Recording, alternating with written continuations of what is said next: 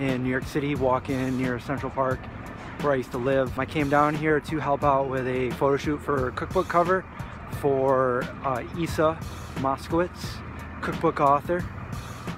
Cookbook author of Vegan Veganomicon, Isa does it. Just ate at Candle 79, that's a really good vegan restaurant. And we'll look at the horse and carriage because that's cool. They're right behind me. That's terrible angle. Okay, gets better. Look at look how good that angle is. But if you see the buildings back there, right over there, right there, I that's where I used to live. So off, off. Stop here. No, you don't have to say you're the gatekeeper. Well, I'll turn around and look at the camera and say that. yeah. Okay, I'll run by and then I'll say that. Okay.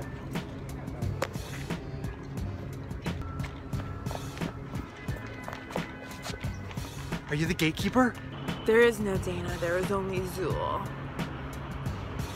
We're at the Ghostbuster location and we just uh, filmed a little. We just reenacted, Reenacted it. the We Keymaster and the- reimagined it. Yeah. It was a reimagining. There's the building. Where is it? What I would think. Cavern, Tavern on the Green. There you go. Wait, do I look like I'm from Beetlejuice now? Not really. More Heather's or like none of it? See, None of it. this is. Alright,